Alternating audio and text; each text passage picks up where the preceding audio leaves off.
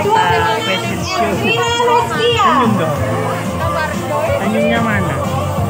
Peserta nomor dua menuju Hansa Akila. Sebelum